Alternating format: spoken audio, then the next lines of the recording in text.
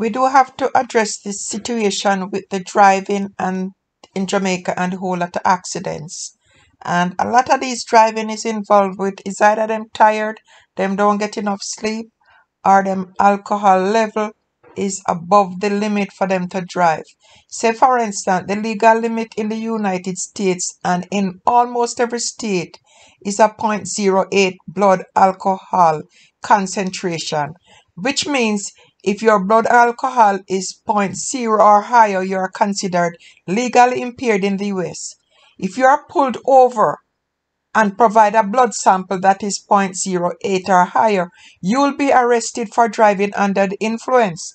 In a Jamaica now, the practice in Jamaica is to test for, and, and I'm going to stress this, for excessive alcohol, meaning people could be considered intoxicated if they have 35 micrograms of alcohol per 1000 millimeters of breath.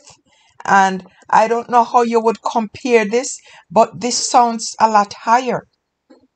People drink and drive and they meet in an accident that they're not even tested for them alcohol level. They meet in an accident, them not arrested. In US, them lock you up for the least bit of alcohol that you have in your system if them catch you. So we're talking about accidents. And there was an accident last night again. And it happened during the week and on weekends it's even worse in Jamaica. So guys, just listen to the news now about the latest accident.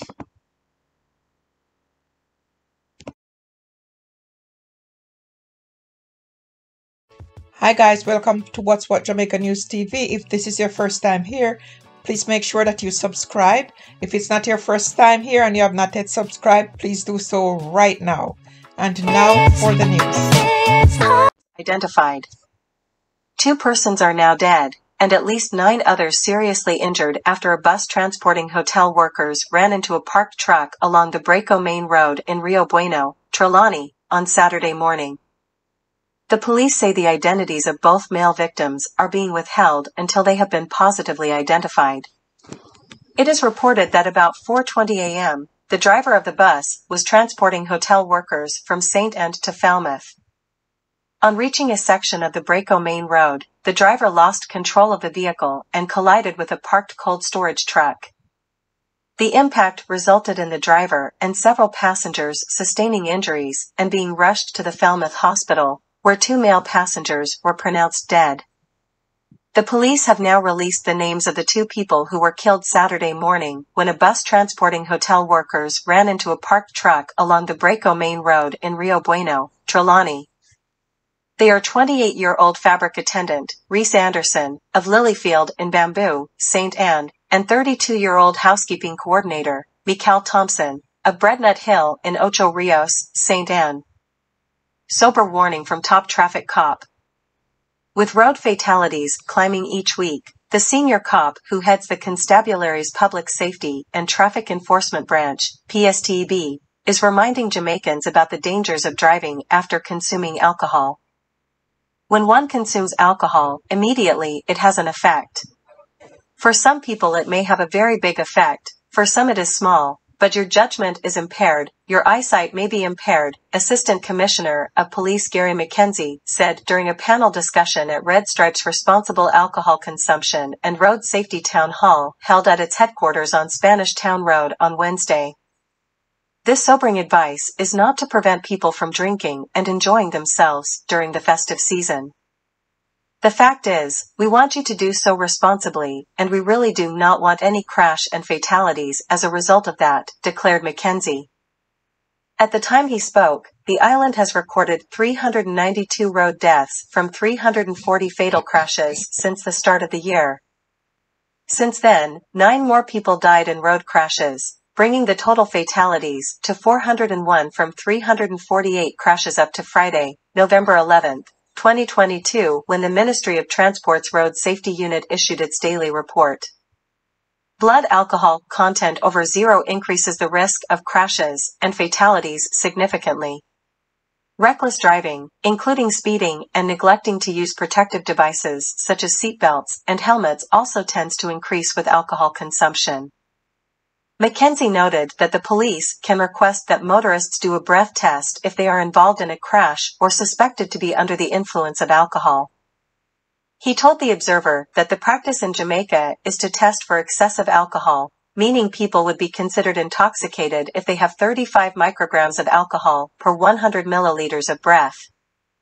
He noted, however, that what is considered too much alcohol for one person may not be so for another. It is important to do the sobriety test because someone may not exceed 35, but is not in a position to drive. Some people, if they just spell RUM, they might be drunk and there are some persons who can consume a number of cases, he said. What is too much, based on research, is theta euro for example, that amount of alcohol can equate to about three or so beers, but what happens is that different persons excrete alcohol at different pace, because 95% of alcohol is excreted through metabolism, so the rest of it is through urine, perspiration, and so on.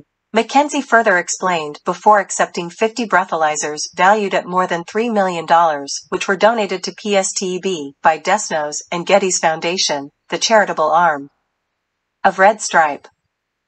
McKenzie welcomed the instruments which, he said, will improve the unit's capacity to conduct more tests.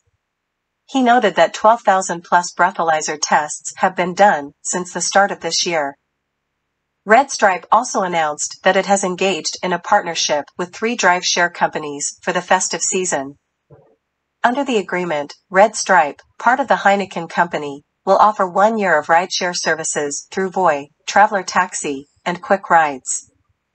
Red Stripe will promote the rideshare companies as Get Home Responsibly partners on its social media platforms and traditional media channels.